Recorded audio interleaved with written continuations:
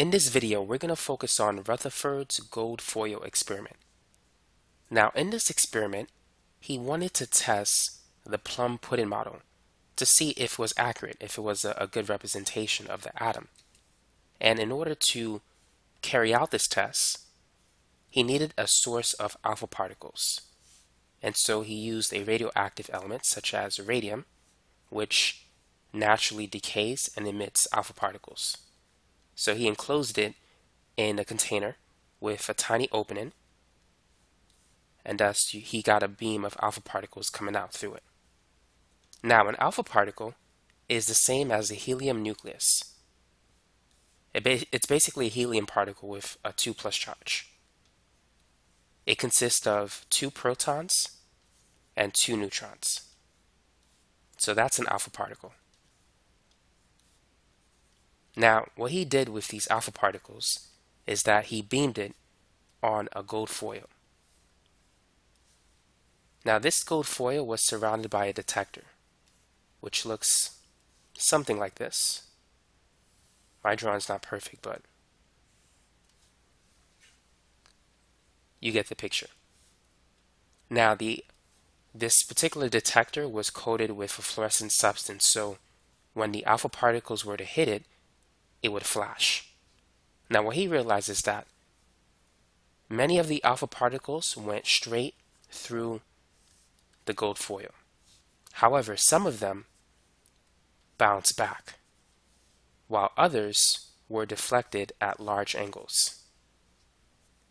And so he came up with some very important conclusions based on what he saw.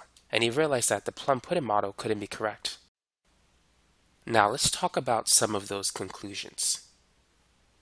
Imagine if this circle represents an individual atom. The fact that most of the alpha particles went straight through the gold foil, what conclusion do you think Ernest Rutherford came up with? Since most particles went through the atom, or the atoms of the gold foil, he concluded that the atom must be mostly empty space. Now, there was something else that he came up with.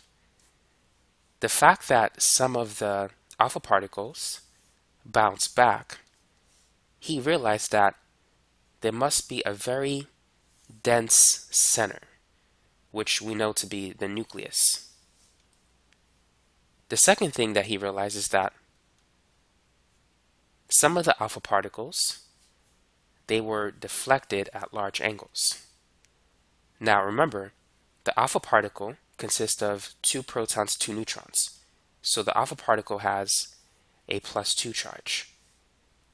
Now we know that opposite charges attract. If you have a proton next to, let's say, an electron, these two, they, they're going to feel a force of attraction.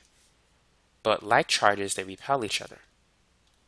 So if you have, let's say, two protons next to each other, they will feel a force of repulsion. And so they're going to move apart. Now, the fact that some of these alpha particles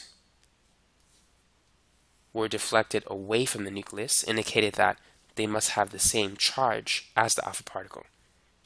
So he concluded that at the center, you have a region of dense positive charge. And so these conclusions were pretty much accurate for the atom. The atom is mostly empty space, and we do have a nucleus that contains positive charge.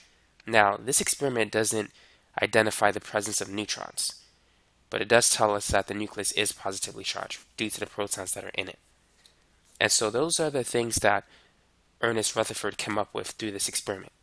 So to review, he discovered that the atom is mostly empty space due to the fact that many of the alpha particles went straight through the gold foil experiment.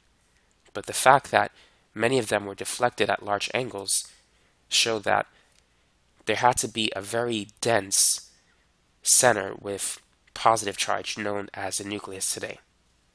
So that's a summary of Rutherford's gold foil experiment.